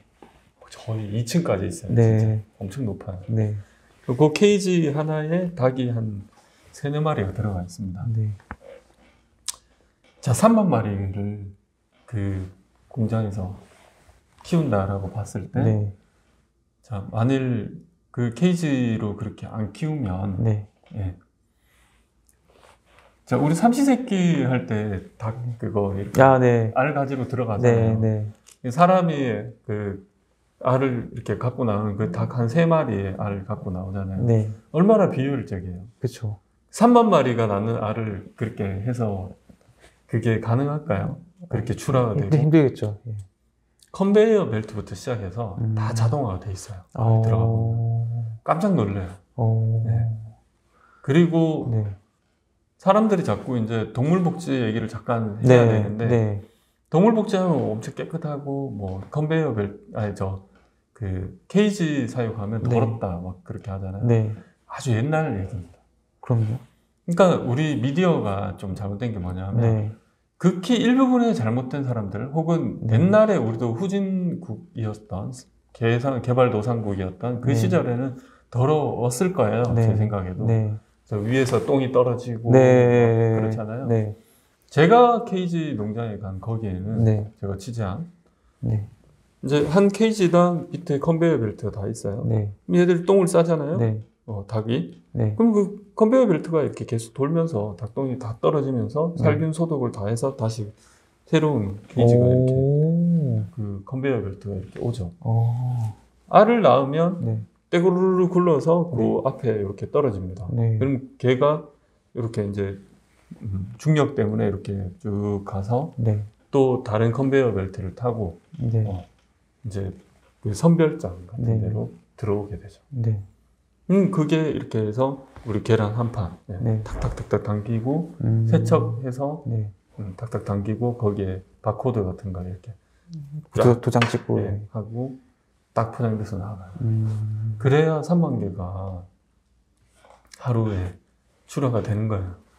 아, 그러면 동물 복지라고 이제 뭐 인증이 되어 있는 그런 이제 양계 농장들은 어떤 모습이에요? 거기에는 케이지 사육을 안 하죠. 산란개 같은 경우에. 그럼 어, 그럼 풀어놔요 그냥? 어, 예. 음, 알을 어떻게 수거해요 그럼 그건? 사람이 일- 직접 다 수거를 하고 아, 개들이 알을 낳을 수 있는 네, 우리로 치면 분만실 같은 네. 그런 거가 이렇게 어두운 네, 닭들이 그런 데서 알을 낳거든요. 네, 어둡고 이렇게 좀 들어가는 그런 데가 있어요. 네, 거기다 알을 낳아 놓으면 네. 그 사람이 가서 일일이 수거를 하죠. 아, 그렇구나. 알겠습니다. 그래서 네, 이게 어, 동물복지는 네, 저도 기본적으로는 찬성하고 네. 어떤 동물의 기본권이나 이런 것들 생각했을 때 네, 찬성은 하는데 네, 음, 우리가 동물복지를 받아들일 정도의 어떤 네, 그런 선진적인 의식이 있지 않는 한 네, 그거 받아들이 쉽지 않을 거예요. 왜냐하면 효율이 떨어지니까. 네, 나중에 그 효율 떨어지는 만큼 그게 다 네. 비용이잖아요, 코스트잖아요. 네, 음, 그거를 내고서라도 나는 음, 동물 복지를 응원해라고 음. 할 정도의 아직 그 정도 소비자 의식은 아닌 것 같다라는 거죠. 소- 일반 개인 소비자는 가능할 수 있습니다. 네. 그런데 만일 진짜 하루에 계란 막몇 아, 수십 판씩 하는 요식 업계나 뭐 이런 그렇죠. 그런 음. 데서는 그거를 받아들일 수 있을까요? 힘들겠죠. 네. 음. 어, 그러면은 그 이제 케이지가 이제 그 깨끗하다고 하셨잖아요. 그럼 그런 사육 환경을 봤을 때는 이게 그러면 우리가 이제 비용을 치러, 치러서 그 동물 복지를 선택하느냐, 아니면 지금 수준의 케이지를 유지하느냐 봤을 때 직접 현장을 보셨잖아요. 어떻게 느끼세요? 우리가 그 비용을 치르면서까지 그 동물 복지라는 거를 이제 어떻게 보면 이제 산업 탈산업화죠 어떻게 보면. 제가 내릴 수 있는 결론은요 네. 하나밖에 없어요. 네. 저는 같은 어, 지역에서 네. 어, 지역 방송에 있는 PD고 네. 그거를 실제로 본 사람이잖아요. 네. 근데 그 지금 말씀하신 그 논리는요, 네. 어, 도시 사람들의 논리예요. 음, 음, 음. 그 어떤 거가 더 낫습니다. 이걸로 네. 가야 돼요라고 음. 그렇게 말하는 거는 네. 되게 어려운 점이 있습니다. 음, 음. 그러니까 어, 그럼 만일 방사를 시켜서 키운다라고 네. 치면 네. 어, 모든 게 다 괜찮을까? 예. 음. 마치 방사를 해서 키우고 동물 복지를 하면 살처분을 안 해도 돼. 막 그런 유의 네. 네, 그렇게 그런- 생각할 수 있죠. 그런 미디어들도 많이 네. 있거든요. 네. 어, 그거는 저는 아니라고 생각해요. 오. 그 부분은 명확하게. 음. 살처분의 양은 달라질 수 있겠죠. 네. 밀집 사육을 하면 네. 아까 얘기했듯이 케이지 8단 막 그렇게 쌓으면 네. 한 공장에 한 3만 마리 키운다고 했잖아요. 네. 그러면 어느 농장에 살처분 능력이 떨어지면 네. 3만 마리 죽여야 되는데 네. 동물복지 농장은 많이 키워봐야 한 5천 마리 이렇게 키우거든요. 네. 그러면 개체를 죽이는 그 수는 네. 줄어들 수 있겠죠. 음. 근데 아직까지 동물복지 농장의 닭들이 네. 뭐그 고병원성 조류 인플루엔자에 네. 덜 걸린다, 네. 안 걸린다 네, 그런 연구 결과는 없고요. 음. 어, 만일 있다고 하더라도 네. 우리가 건강한 사람이 코로나에 걸리는 거 네. 똑같이 음. 이거는 바이러스와 전염병 네. 방역의 문제로 바라봐야 돼요. 음. 근데 자꾸 음, 일부 사람들이 네. 저렇게 케이지를 하니까 저기에서 병균이 막 일어나서 네. 저기에서 뭐 저런 바이러스가 생기지 네. 세균이 뭐 해서 저런 병이 생기지 네. 그렇게라고 봤을 때는 네. 저는 케이지라고 해서 엄청 더럽다 그렇게는 생각하지 않아요. 음. 직접 가보니까 오. 의외로 네. 어, 그냥 분변 같은 것만 봤을 때는 네. 더잘 처리가 되니까 바깥쪽으로 네. 나와서 네. 음, 그런 부분은 좀 어, 놀라웠죠. 음. 그러니까 이제 그 동물 복지와 살처분이 사실은 이제 관련성이 거의 없다라는 말씀이시죠? 그러니까 방역의 네. 문제로 봐야 되는 거고요. 네. 동물 복지는 말 그대로 복지인 거죠. 음. 그래서 저도 그냥 인간으로서 네. 어떤 어, 따뜻한 마음을 가진 인간으로서 네. 동물들이 그렇게 네. 갇혀서 막 평생 알만 넣고 죽고 네. 또 다른 동물들도 마찬가지잖아요. 돼지나 소도 평생 그 자리에서 갇혀갖고 이렇게 네. 죽고 네. 예, 나중에는 그냥 처음으로 나온 게 도살장이라고 하잖아요. 음. 그건 나는 반대예요, 저도. 음. 그 동물들 생각하면 우리 인간들이 엄청 이기적이고 그쵸. 끔찍한 예. 거죠. 네. 하지만 네. 방역의 문제에 있어서 그거를 동물복지와 연관을 시켜버리면 음. 사실은 만일 방사를 시키잖아요. 네. 예. 그러면은 바깥쪽에 있는 동물들은 네. 더 전염병에 걸리기가 더 쉬울 수가 있습니다. 아. 방역의 문제하고 동물복지 네. 문제하고 좀 연관시키기에 약간 무리가 있어요. 음. 다만 면역력이라고 하는 그런 것들이 네. 지금 우리가 코로나 시대를 살면서도 네. 면역력과 관련된 무엇도 증명해주지 못했어요. 네. 예, 다만 뭐 좀 면역력이 뭐 높은 사람이 백신을 맞으면 더 아프다더라. 뭐 네. 그런 얘기들을 하지만 그것도 엄청 과학적인 거 아니잖아요. 음. 네, 그렇죠. 동물의 면역은 더 알아보기 힘들겠죠. 음. 어, 너 백신 맞아 혹은 너 어? 너이 동물 복지를 네. 하니까 너가 많이 돌아다녀서 네. 너, 너 어, 조류인플루엔자 걸렸는데 네. 덜 아프지? 때 닭이 네. 네, 이렇게 네. 음. 얘기해주면 사실 음. 그거를 네. 어떻게 그렇죠. 볼 수가 있는데 지금 그렇지가 못하잖아요. 음. 그렇기 때문에 이제 어쩔 수 없이 아 진짜 그 방역의 관점에서 보면은 네. 오히려 격리되는 게 더 안전하잖아요. 그렇죠. 네. 그래서 그냥 방역은 방역대로 봐야 되고 음. 살처분을 하나의 방역의 네. 어떤 방침으로 봐야 되고 네. 동물 복지는 우리가 그냥 정말 인간으로서 네. 동물한테 해줘야 음. 되는 네. 그런 가치가 아닐까 음. 저는 그렇게 나눠서 생각을 음. 합니다. 그럼 지- 그런 관점에서 지금은 어쨌든 간에 동물 복지를 뭐 인증하든 안 하든 간에 살처분의 영역에 걸리면은 다 일단 살처분에 가는 거죠? 지금은 어쩔 수 없죠. 그쵸. 지금 그런 거죠? 예, 방역의 문제니까. 음, 네. 그 이런 이제 정부의 조치를 반대하는 농장을 소개해 주시고 하셨더라고요. 음. 참사랑 농장이라고. 네네. 여기는 이제 어떤 농장이었나요? 어, 거기가 아까 네. 얘기했던 동물에 대한 감수성이 높은 음. 그런 농장이었는데, 네. 어, 유소윤이라고 하는 그 네. 분이 이제 참사랑 농장을 운영하고 계시고, 네. 음, 전북 익산에 있는 농장입니다. 네. 근데 2017년도죠. 그때 조류 인플루엔자, 고병원성 조류 인플루엔자입니다. 명, 네. 정확한 명칭은. 네. 그 고병원성 조류 인플루엔자 때문에 익산에서 살처분 명령을 받았죠. 네. 예방적 살처분. 네. 그 익산 주변에가 그 양계 농가가 많아요. 네. 근데 큰 양계 농가에서 이제 걸렸어요. 네. 방역대라는 걸 형성을 해요. 네. 저기 100m, 500m, 1km, 3km 막 이런 식으로 네. 방역대가. 처음에는 여기에서 어느 농가에서 걸렸는데 네. 처음에 500m 안에 뭐 네. 이렇게 해서 예방적 살처분을 합니다. 네. 동종을 다 죽여버려요. 네. 오리, 닭. 네. 근데 좀 떨어진 곳에서 이제 벌써 퍼진 거예요. 네. 어 이게 역학적으로 이제 얘가 퍼졌네. 네. 그래서 방역대를 넓히게 되죠. 네. 그 방역대 안에 그 참사랑 농장이 들어온 거예요. 음, 네. 근데 이 참사랑 농장은 네. 어, 동물복지 농장이었거든요. 네. 그래서 농장 규모가 되게 작아요. 사실은 오, 네. 산란계임에도 불구하고. 네. 그러니까 여기에서는 거부를 했어요. 음, 실험이라도 해보자. 네. 얘들 항체 이거 뽑아서 걸렸는지라도 좀 보자. 네. 안 걸렸으면 우리가 밖에 안 하고 관리 잘 할 테니까. 네. 어, 걸렸으면 그래도 그때 살처분을 해도 되지 않냐. 네. 되게 합리적인 질문을 던졌죠. 네. 자, 근데 당국에서는요. 네. 방역 당국에서는 그거를 받아들일 수가 없죠. 왜냐하면 신속함이 생명인 그쵸. 게 살처분 정책이에요. 그쵸. 근데 하나둘씩 이런 농장이 나오기 시작하면 안 되죠. 예, 네. 이 국가 주도 방역이 무너지는 거예요. 그쵸. 예.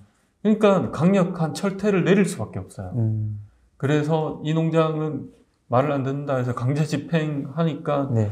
이그 농장주인 남편분 그분이 네. 저기 군인 출신이셨거든요. 네. 그런 막는 방법을 잘 알고 계세요. 네. 그래서 막아버렸죠. 강제 집행을. 예, 끝끝내 강제 집행을 못했습니다. 어, 네. 그래서 나중에 항체 검사를 하고 다 했더니 다행히 네. 여기 있는 닭들은 안 걸린 게 이제 판명이 돼서 네. 살처분을 음, 안 하는 걸로 그냥 그렇게 해서 넘어가는 듯 했지만 네. 그런 식으로 방역에 구멍이 생겨버리면 네. 이제 뭔가 저 어, 정부 입장에서는 그쵸. 예외가 생긴 거죠. 예외가 생기게 네. 되니까 네. 이제 이 농장에 대한 뭔가 그 행정적인 처분을 내리고 네. 그러면 이 그러면서 이 농장에서는 그거를 또 어, 반대하는 소송을 내고 네. 그래서 법적 공방으로 갔어요. 네. 갔는데 결국은 졌죠. 음, 3심까지 다 해서 제가 다큐 찍을 때 그때 1심 공판이 열리던 네. 그때쯤이었는데 네. 몇년 뒤에도 계속 연락을 해보니까 네. 결국은 졌습니다. 음, 네, 그래서 국가가 온당하게 했다. 네. 너희들이 잘못했다 라는 네. 식으로 결론이 났죠. 음, 그러니까 그 농장 같은 경우에 그러면은 자칫 잘못하면 또 어, 국가 말을 안 듣는 약간 이상한 농장이네 그렇게 그쵸. 얘기할 수 있잖아요. 네. 근데 그 농장이 네. 사실은 그렇게 한번 덤벼줬기 때문에 네. 음, 이제 정부에서도 네. 자꾸 이런 다양성에 대한 이야기가 네. 하나만 살처분밖에 없었거든요. 우리나라는. 네. 근데 그런 식으로 자꾸 여론이 이제 바뀌기 시작하고 사람들이 많이 알기 시작하고 네. 그럼 국민들이 아 저희도 살처분 원하지 않아요. 너무 너무 비참해요. 네. 저거 그렇게 되면 네. 정부도 아 그래요? 그럼 우리도 백신 같은 거 좀 개발하고 네. 우리도 좀 안 하는 쪽으로 한번 해볼게요. 네. 될 수가 있는 거예요. 네. 그쵸. 그쵸. 예. 근데 국민들은 모르기 때문에 살처분 음. 하나보다 무관심하면 살처분을 계속 할 수밖에 없어요. 그쵸. 근데 음. 그런 거를 메시지를 던진 그런 농장 첫 사례였죠. 거기. 아, 그, 그, 이 참사랑 농장 이후에 또 이런 농장들이 나타났나요? 계속해서 사실 음. 이런 동물복지 쪽의 농장인데 대부분 네. 그쪽에서 반대를 많이 합니다. 아, 많이 하고. 그리고 작년 네. 어, 초에 네. 경기도 이천이었나요? 네. 거기서도 이제 너무 살처분을 많이 하니까 네. 작년 초에도 어 그 고병선 조류 인플루엔자에 대해서 네. 가장 단시간에 네. 어, 가장 많은 개체를 죽인 한 음. 해가 작년 초였거든요. 음. 왜냐하면 그럴 수밖에 없는 게 사람들이 코로나 때문에 음. 바이러스에 대한 감성 완전히 막 너무 민감해진 상태에서 보병원성 조류 인플루엔자가 들어온다라고 하니까 네. 국가에서는 야 빨리 막아 이렇게 되는 거예요. 음. 그러니까 빨리 죽여서 네. 제일 빠른 살처분이잖아요. 그쵸, 예. 그거는 뭐 예외가 없잖아요. 네. 죽여버리니까. 예, 예. 그래서 너무 많이 그렇게 죽여버리고 이렇게 네. 하니까 경기도 쪽에서 이제 포천인가 이천에서 이제 막 아 화성이었지 다 네. 화성에서 이제 들고 일어나고 네. 그렇게 하면서 저 그러면 뭐 경기도 입장에서는 어 조금 늦춥시다 네. 그리고 중앙 쪽에서는 안 된다 안 된다 하다가 조금 나중에 늦추고 음. 그러니까 조금 조금씩 변하고 있어요. 음. 예. 저는 그게 엄청 고무적이라고 생각을 해요. 어. 그리고 제가 2018년도에 다큐를 찍고 네. 어 2021년도에 저 네. 책이 나왔는데 네. 그 동안도 굉장히 방역 정책이 많이 바뀌었습니다. 어. 그게 지금 나아지고 있긴 하네요, 그래도. 그럼요. 근데 이게 지금 제가 그 살처분에 대해 얘기를 듣다 보니까 그 최근에 이제 그 살처분 관련해서 뭐 뉴스나 미디어에 접한 거는 이 살처분에 그 하지 말자라는 그 목소리가 이 뭐 동물권에 대한 것보다는 그걸 집행하는 이제 사람들의 뭔가 상처라든지 트라우마라든지 이런 쪽에 좀 강조점이 찍혀 있는 거 많더라고요. 이런 것들은 좀 어떻게 보세요? 어 당연하죠. 저는 음. 그 문제가 심각하다고 생각하고요. 옛날부터 그거에 대한 연구도 많이 이루어지고 있습니다. 네. 그래서 서울대 수의학과 천명선 교수님이 네. 어, 그런 트라우마 관련된 연구 논문도 있으니까 나중에 네. 한번 참고해 보시고 네. 일단 처음에 트라우마가 심했어요. 지금 음. 덜합니다. 어, 그래요? 왜요? 왜냐하면 네. 처음에는 공무원들이 투입이 됐고요. 네. 지금은 전문적으로 그거 하는 업체들이. 아. 예. 그래서 그거를 전문적으로 하는 네. 사람들이 있는 거죠. 음. 근데 처음에는 트라우마가 심할 수밖에 없는 게 네. 공무원이라고 하더라도 네. 그분들은 저희 같은 일반인하고 똑같아요. 그쵸, 똑같죠. 예. 예, 행정성무 보던 네, 공무원이 그쵸. 나가서 방역법 있고 네. 거기 가서 음. 개체를 죽여서 사체를 이렇게 한다라고 생각했을 때 음. 그 트라우마는 엄청나겠죠. 그쵸. 저는 제가 이렇게 죽은 닭조차도 네. 저는 제가 제 맨손으로 이렇게 못 잡거든요. 네. 대부분 다 그럴 네, 거예요. 대부분 그럴 거예요. 예. 네, 대부분. 네. 그런데 그런 사람이 네. 거기 가서 송아지가 죽는 걸 보고 음.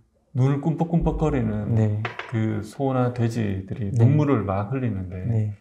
그런 죽음을 생눈으로 다 지켜봤다라고 음. 생각을 하면 음. 그 사람들이 제대로 잠을 잘 수 있겠어요. 음.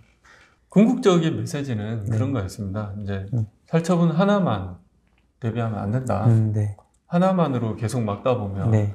어, 우리가 막을 수 있는 여러 가지 네. 어, 방법 중에 네. 하나밖에 택하는 게 없기 때문에 네. 대안이 없잖아요. 음. 우리는 미래를 준비를 해야 된다. 네. 어떤 형식으로든. 네.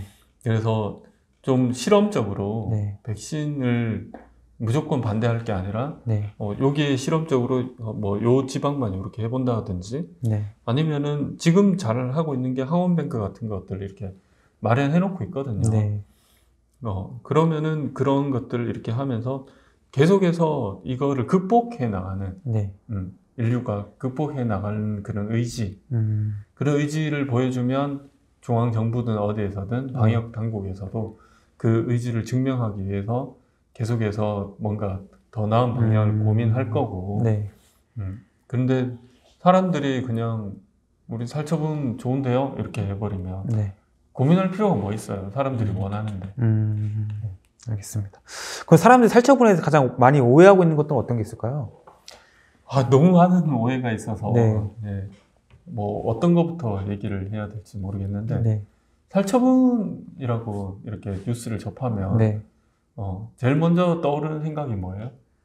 저는 다 죽여서 묻는 거예요. 땅에 묻는 거. 음. 네. 그런데 사람들이 살처분한다라고 하면 네. 가장 제일 먼저 하는 오해가 네. 아, 쟤들 병에 걸렸으니까 아, 그 오해를 제일 많이 하거든요. 음, 실제로 병에 걸린 음, 개체는 얼마 안 돼요. 아, 소수구나, 그게. 네. 아. 나머지는 길목을 막기 위해서 아, 얘네의 어, 동종애를 멀쩡한 애들을 다 죽여버리는 거죠. 그러니까 길을 막기 위해서 죽는 생명의 수가 훨씬 많은 거네요. 자, 이거를 네, 아, 이렇게 얘기하면 좀 잔인하지만 네, 어, 서울에 인구가 천만이 살고 네. 있어요. 근데 어, 어디 원주쯤에 2000, 2000쯤에서 예, 인간의 질병이 뭔가. 네, 근데 막 걷잡을 수 없는 그런 질병이 퍼져요. 네, 그게 감기잖아요. 네. 영화. 네, 그래 안 되면 어떻게 해요? 인간 살처분에 대한 네, 예. 그래서 공격해라. 그래서 네. 분당쯤을 폭격하는 그 시나리오가 나오잖아요. 네. 똑같은 거예요. 아, 그냥 거기에 분당에 살고 있던 그 영화에 나오는 대부분의 사람은 네. 안 걸렸잖아요. 그쵸. 그런데 서울을 지켜야 되니까 음. 혹은 전 세계를 지켜야 되니까 네. 거기를 폭격해라라고 하잖아요. 음, 똑같은 거예요. 그 동물들 살처분한다 그러면 사람들이 아 쟤네들 병 걸렸으니까 어차피 못 먹는 거 그냥 그 죽이자. 죽고 예. 어, 그 보상 받으면 네, 좋지. 네. 그거는 아. 몇 프로 안 돼요. 근데 아니구나. 대부분 95% 정도는 다 그냥 멀쩡한. 멀쩡한 것들을 다 음. 죽이는 거. 그게 저는 아. 좀 잘못된 게 아닐까. 야, 그러네요, 진짜 이게. 심각한 문제네, 이게 진짜. 이렇게 생각하니까. 어, 또 이제 그 땅에 묻으면은 이게 다 또 썩어서 흙으로 돌아가는 거 아닌가. 이 생각도 많이 들긴 하거든요. 그렇죠. 실제 어떤가요, 실제로? 그것도 안 보이니까 네. 좀 있는 거예요, 네. 사실. 근데 네. 저도 저도 사실 그렇게 생각했거든요. 네. 뭐 미생물이 분해. 그쵸, 예. 어, 나중에 파면 그냥 땅이 돼 있을 거야. 네, 흙이 돼 있겠죠? 예, 흙이 돼 있을 거야. 그렇게 네. 생각했는데 실제로 우리가 이제 10년 지난 어, 거기를 파봤거든요. 네, 취재를 하면서 네, 그 파는 데 취재를 해봤더니 네. 구덩이가 한 사람 키 높이 정도 네. 이상 이제 파고 들어가니까 냄새 나기 시작해요. 어, 네. 정말 제가 살면서 네. 제가 좀 비위가 약한 편이긴 한데 네. 그런 냄새에 처음 맡아봤거든요. 음, 음. 어, 엄청난 악취가 나고 네. 그게 암모니아 가스가 나오는 거죠. 어, 그 암모니아 가스를 그대로 계속 마시면 네. 어, 죽거든요 사람이. 네. 네. 근데 우리는 방독면을 쓰고 이제 음, 했는데 그 안에 이렇게 곤죽처럼 네. 그러니까 땅 색깔이 달라요. 거기만. 음, 음. 그래서 그 약간 이렇게 네. 뻘같이. 있고, 네. 어, 뻘처럼 이렇게 네. 돼 있고 네. 또 마대자루에 이렇게 음, 쌓여 있던 그런 네. 사체들은 하나도 안 썩었어요. 아, 미생물이 그 마대자루 플라스틱을 못 뚫고 들어오니까 아, 그러니까 이게 뭔가 후처리가 필요하다 네. 그런 생각이 드는 거죠. 네. 그냥 묻어 놓으면 다 끝이다? 아니죠. 비 내리면 그게 침출수가 네, 지하수로 그쵸. 들어갈 거고 그쵸. 예. 그게 다 다시 퍼져갖고 네. 옆에 논이라든지 네. 뭐 우리가 먹는 곡물 곡식 그쪽으로 이렇게 들어갈 건데 네. 그거에 대한 관리가 안 되고 있었던 거죠. 음, 근데 지금은 다 관리를 합니다. 음, 우리나라도 네. 다시 재처리라고 해서 네. 그거를 다시 다 파서 네. 3년 이내에 그거를 어, 다시 열 처리해 갖고 네. 퇴비화 시킨 작업을 해요. 음, 그러니까 이게 되게 잘못된 게 뭐냐면 네. 어, 안에 팠더니 그래요. 그 그래서 문제 많아요. 그러면 또 사람들이 막 어, 저걸 저렇게 놔두면 어떡하냐. 우리가 먹는 네. 지하수나 뭐. 식에, 예. 예. 막 그러는데 이게 질소산화물이 어, 그 사체가 있던 그 부분에는 질소산화물 네. 우리가 옛날에 비료할 때 뭐 인, 질소 뭐 뭐 그게 필요하다 그랬잖아요. 네. 식물한테. 네. 근데 질소산화물이 엄청 많이 이제 투입이 되는 거예요. 그러면은 네. 웃자라거나 그 논에 뭐 벼 같은 게 아니면은 파란 초록색이 짙어져요. 그, 그 부분만. 네. 근데 그런 거를 먹었을 때 네. 어, 그런 곡물을 많이 먹었을 때 인간한테 좀 해롭다. 뭐 네. 그런 말도 있습니다. 제가 음. 그거를 정확하게 안 찾아봐서 모르겠어요. 네. 그런데 여하튼 재처리는 해야 되고 네. 그래서 그냥 땅에 묻던 시절에는 네. 우리도 2010년도에 그냥 땅에 묻었었죠. 네. 어, 영국 같은 경우에는 그거를 침출수를 다 관리를 하죠. 음. 그래서 펌프가 계속 지금까지도 돌아가고 있고 아. 그거를 정화시켜서 네. 예, 그 강으로 흘려보내는 음. 그렇게 하고 네. 우리는 그때 그렇게 하지를 못했었기 때문에 네. 어, 재처리를 하는데 음, 어떤 곳은 농장주가 자기 돈으로 하고 어떤 곳은 네. 이제 국가에서 하고 요즘에 제가 알기로는 네. PVC인가 그 큰 통에다가 네. 넣어서 그거를 다시 이렇게 플라스틱 통에 아. 넣었다가 네. 그걸 다시 이제 이동식 사체 처리기가 와서 네. 음, 열 처리를 하고 네. 어, 그렇게 하면 되게 좋은 그 비료가 되거든요. 네. 네, 음. 유기 화학 비료가 되는 거죠. 음. 화학 비료는 아니지만 음. 생유기 비료가 돼서 네. 그렇게 해서 다시 나가는 걸 알고 있어요. 그럼 그 묻었다가 다시 꺼내서 재처리하는 이유는 뭐예요? 어 그거를 재처리를 안 하면 네. 그 질소 산화물이 엄청 많은 그냥 아까 썩은 그 상태로 그대로 있기 때문에 네. 예, 그거를 열 처리를 하면 네. 그 안에 나쁜 뭔가 그런 것들도 이제 다 죽어서 네. 어떤 영양소처럼 그런 질소 산화물 고- 그런 것들만 네. 아, 질소 비료처럼 그런 것들만 남겠죠. 음. 근데 그거를 하지 않으면 네. 그게 어떤 어 땅과 같은 형태가 아니라 그냥 단백질이 그대로 음. 그렇게 눌려서 네. 퇴적돼서 있는 거니까 아. 땅하고 비슷하게 만들어 준다라고 그렇게 보시면 돼요. 그럼 애초에 해서 묻을 수도 있잖아요. 빨리 해야 되니까. 아, 속도 때문에. 네. 그래서 어, 네덜란드는 어떻게 하냐면요. 네. 큰 차에다가 다 실어요. 네. 사체들을. 네. 그래서 국경지대에 정말 큰 공장이 있어요. 네. 거기에서 이제 열 처리를 다 하는 거예요. 음. 그렇게 해서 그걸로 돈을 많이 번다 하더라고요. 네덜란드. 아, 그 업체가? 예. 그, 그게 국가에서 운영하는 걸로 알고 있는데, 네. 모르겠어요. 국가에서 운영하는지, 업체가 있는지. 네. 근데 국경에 있으니까, 다른 아, 나라에서도. 다른 나라에서 하겠네. 그 산업처럼. 아. 우리나라는 그게 네. 제 생각에는 네. 혐오 시설이잖아요. 그쵸, 그쵸. 네. 네. 그게 어디에 들어서기가 쉽지 않을 거예요. 그쵸, 그렇겠죠. 예. 그래서 우리나라는 이동식, 이동식 음. 사체 처리기가 이제 들어오면서 네. 거기서 렌더링 작업이라고 하는데 음. 네, 거기에 넣어서 막 고열에 네. 확 돌려갖고 음. 뭔가 퇴비처럼 만드는 거죠. 음. 그럼 세계 여러 나라를 둘러보면은 이 살처분과 백신 어느 걸 선택하는 나라들이 많나요? 그러니까 그게 네. 제일 어려운데 네. 자, 어, 단일 나라로만을 따졌을 때 네. 그럼 보세요. 네. 고병성 조류 인플루엔자에 대해서 네. 백신을 맞히는 나라 중국이거든요. 네. 중국 나라 하나예요. 네. 네, 우리나라는 안 맞춰요. 네. 1대1이에요. 네. 영국도 안 맞춰요. 네. 2대1이에요. 네. 뭐 다른 웬- 웬만한 서유럽 국가 다 안 맞춰요. 네. 선진국이라고 하는데 다 맞춰요. 네. 일본도 그렇고 네. 백신을 네. 조, 조류 인플루엔자의 가- 그 경우에는 네. 안 맞춰요. 음. 근데 개체 수는 누가 더 많을까요? 중국이 더 많겠죠. 네. 음. 음. 홍콩 중이 더 많겠죠. 음. 그렇게 비교할 수가 없는 거예요. 음. 그 다음에 네. 백신이 백신의 역사랑도 좀 다르고 네. 축종과 네. 어, 병, 그 바이러스에 따라서도 또 다릅니다. 음. 그러니까 구제역은 지금 뭐 네덜란드 같은 경우에는 우리는 이제 백신으로 해서 살처분 안 하겠다. 뭐 네. 그런 막 포부를 밝히기도 하고 네. 그렇게 하고 영국은 아 그래도 살처분 해야지 네. 그런 얘기를 하고 네. 그러니까 구제역은 지금 그런 상황이고 백신이 아주 오래 전부터 있었고 네.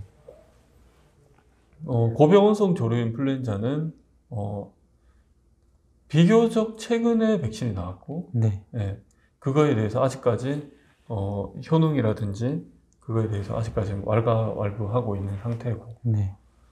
어, 또 어떨 때는 막 병이 너무 빨리 퍼지면 백신 네. 쓸 수밖에 없죠. 그거는 음. 고병원성이라고 하더라도 네. 조류 인플루엔자도 그렇기 때문에 단순하게 어떤 나라가 많고 어떤 나라 적고 네. 그렇게 비교할 수가 없습니다. 음. 그럼 우리나라는 앞으로 어떻게 해야 될까요, 그럼? 계속해서 네. 같은 메시지를 강조하고 있는데 네. 어, 하나의 정책은 안 된다. 음, 음. 여러 가지 정책을 써야 된다. 네. 그 중에 하나가 백신도 네. 어, 염두에 둬야 된다. 네. 2010년, 11년 구제역 파동 때 네. 우리가 한- 원 올리 원 정책으로 살처분만 했잖아요. 네. 결국 못 막았잖아요. 네. 그러면서 백신이 늦게 왔잖아요. 네. 물백신 논란 일- 일어났잖아요. 네. 그 당시 상황을 들어보면 네.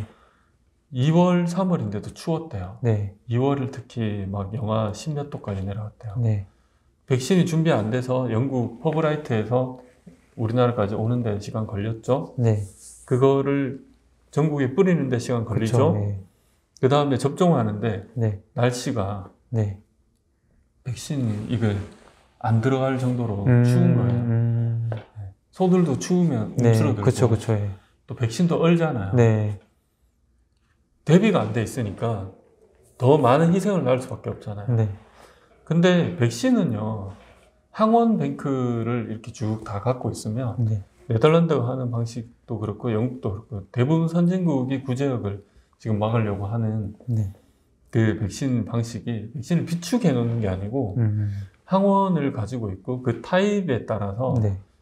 이틀 만에 제조를 해서 유통까지 끝내는 것을 목표로 음. 백신을 그렇게 하고 있습니다. 네.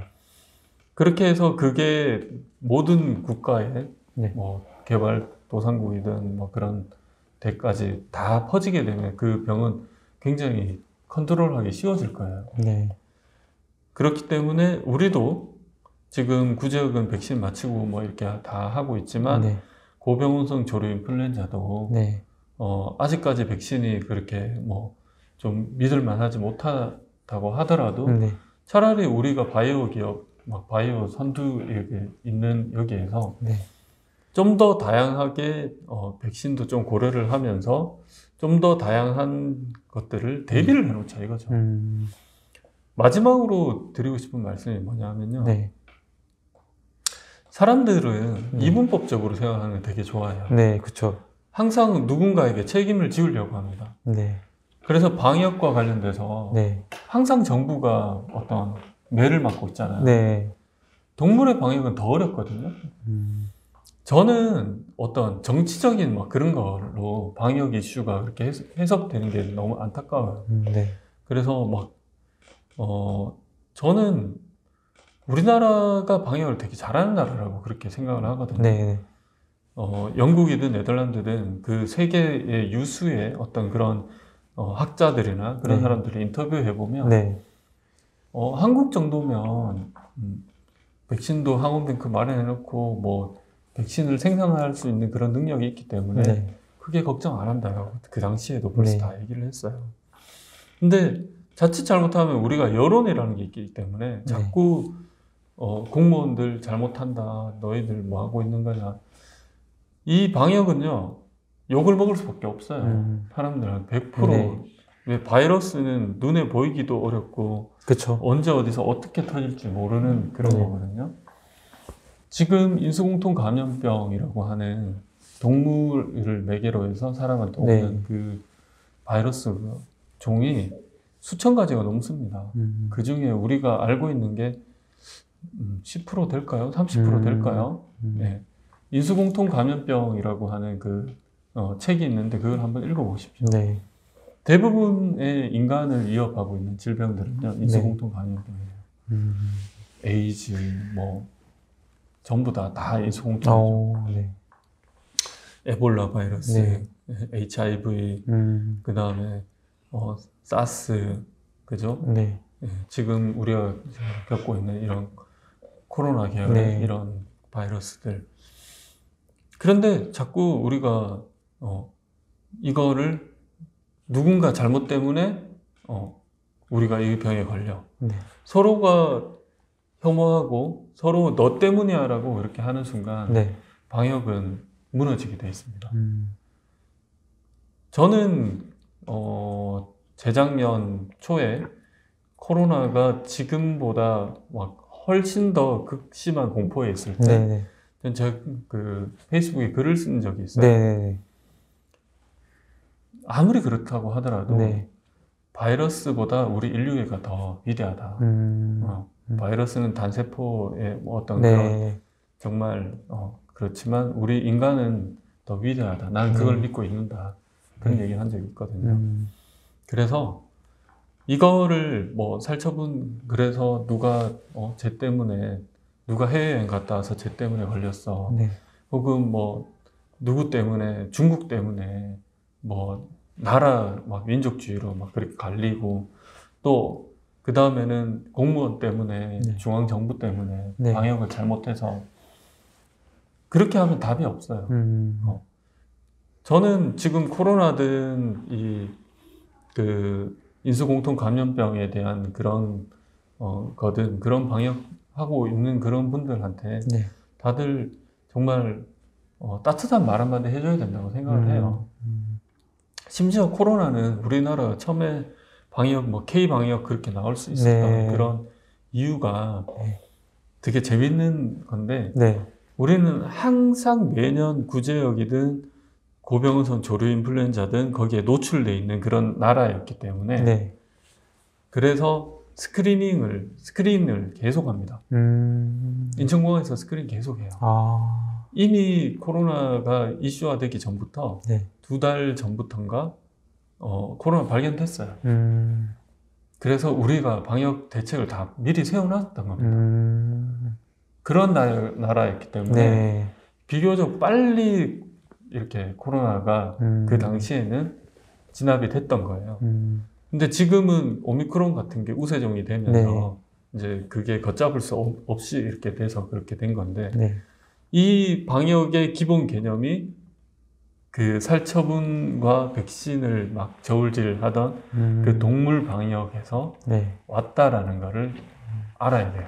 음, 그래서 동물 방역의 기본 원칙은 네. 공간 방역이거든요. 네, 우리 지금 처음에 우리가 네, 예, 다른 나라하고 어 그러니까 서유럽 그 저 서구 국가하고 네. 우리나라하고 달랐던 점이 뭐냐면 네, 우리는 엄청나게 강한 공간 방역을 했어요. 코로나. 네, 그게 다 살처분에서 온 겁니다.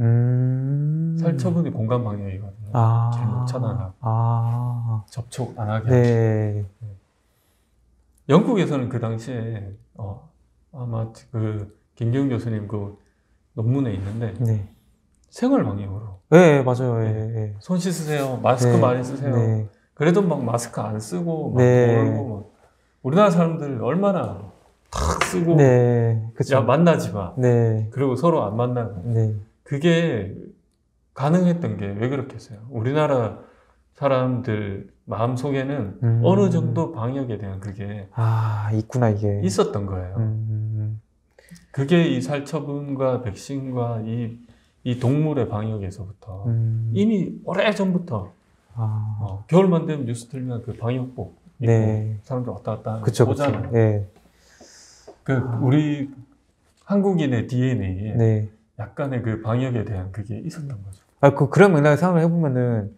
그 스웨덴인가 그 나라에서 제일 코로나 초기에 집단 면역 한 번 했다가 실패한 적 있잖아요. 그, 그것도 약간 그런 맥락이네요. 그렇죠. 그 대륙의 그 성향 그런 게 있으니까. 그렇죠. 그렇게 아. 볼 수도 있어요. 저는 음. 그렇게 생각을 했어요. 오. 야. 아, 그러면 이제 지금까지 쭉 하신 말씀 들어보면은 결과적으로 이제 뭐 정책 입안자라든지 뭐 학자분들이 좀 많이 노력을 좀 해주셔야 될 것 같은데 이걸 약간 뭐 도시인들, 뭐 그냥 시민들 아니면 뭐 소비자의 입장에서 이런 그 살처분에 대한 것들을 바꾸기 위해서 좀 노력할 수 있는 것들이 있을까요? 그러니까 학자도 네, 아무런 무베이스에서 연구할 네. 수도 없고 네, 학자가 결국은 돈이 있어야 연구하잖아요. 네, 그럼 돈이 있다, 돈이 그쪽으로 돈다는 거는 네, 사람들의 어떤 요구가 있어야 되거든요. 네, 그러니까 소비자들도 네. 우리가 방역의 개념으로 봤을 때 네, 자, 하나로만 막을 이제 막지 못한다는 걸 우리가 다 이해하잖아요. 네, 이제 네. 코로나 시대를 겪으면서 어, 앞으로 어떤 변이가 올지 몰라. 그럼 네. 코로나 당연히 우리가 여러 가지 방식으로 어, 백신 제조 시설부터 시작해서 네. 또 그거 유통시킬 수 있는 그런 시설 다 갖고 있어야 되잖아요. 네. 마찬가지로 동물의 질병에 대해서도 네. 조금 우리가 넓은 마음으로 네. 동물이니까 무조건 죽여야 돼 이게 아니고 네. 저 동물의 질병에 대해서도 되게 과학적인 저런 백신 어, 제조부터 시작해서 네. 그런 것들을 실험적으로 우리가 받아들일 수 있도록 네. 예, 그러려고 하면 그래 백신 맞아도 이때까지 맞은 고기 먹어도 괜찮다는 사람들 많거든요. 음. 어, 나 괜찮은데? 음. 어, 근데 자꾸 의심의 눈으로 이렇게 바라보면 네. 결국은 정책을 하는 사람은 그쵸. 네. 예, 그걸 따라갈 수밖에 없거든요. 음. 근데 그냥 어, 정말 수고 많이 하고 있고 저 사람들 어, 고생 많이 하는데 또 여러 가지 것들을 이렇게 해서 대비를 해놓으면 네. 참 좋을 것 같아. 그러기 위해서는 나도 내가 이기적으로 그냥 나는 깨끗하고 무조건 살처분하고 백신 안 맞고 그런 것만 먹을래 이런 것보다 음, 나도 좀 내 집에 강아지한테 예방 접종 놓듯이 가축들도 어, 주사를 맞고 백신 맞는 거에 대해서 좀 포용을 해줄 수 있다. 음. 그렇게 되면 조금 음, 우리가 방역 선진국으로 나갈 네. 수 있지 않을까 음. 그런 생각을 하는 거예요. 일단 인식부터 좀 바꿔야겠네요, 일단은. 네. 네. 알겠습니다. 시민들의 요구가 있어야 정책이 네. 바뀝니다. 음, 알겠습니다. 네.